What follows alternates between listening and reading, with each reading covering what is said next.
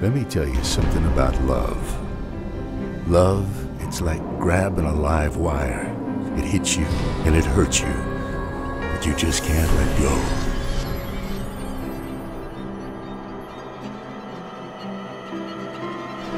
I love this house.